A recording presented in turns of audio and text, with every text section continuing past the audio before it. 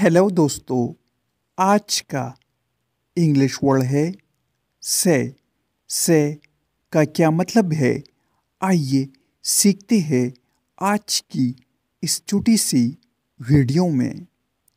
से मीन्स बोलना, परमाना, मुँह खोलना, बयान करना, इजहार करना या कहना। आइए इस वर्ड को सेंटेंस में इस्तेमाल करते हैं।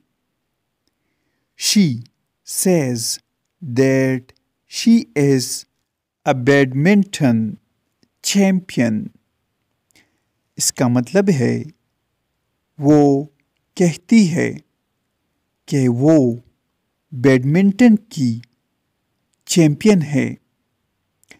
व्यूवर्स वीडियो को लाइक और शेयर ज़रूर करें. Thanks for watching